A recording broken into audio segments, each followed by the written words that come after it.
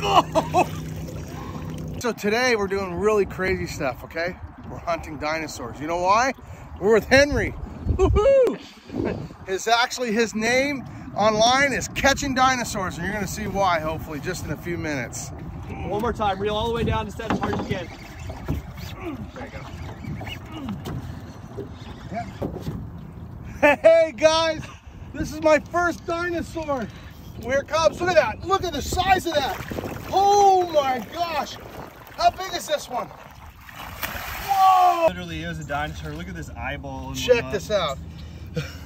This, you talk about prehistoric. We can keep going if we need to. Look at that. Look at the size of this thing. I mean, it's massive. Look at this. We've got one nostril, two nostril, three, and four. So they're using these to find fish in the water. They're definitely relying on smell. They also, if you look down here, Wow. these are, see right here? These are oh, the just same. like a, they have feelers, electronic feelers for the they're actually taste feelers, but I do believe they can electronic sense as well. Whoa, getting my feet out is a whole nother, whole nother game. Look at the size of this beast. Okay, we're gonna let this big girl go. Let her go. There she goes. Whoa, that is rad. Living the dream, guys.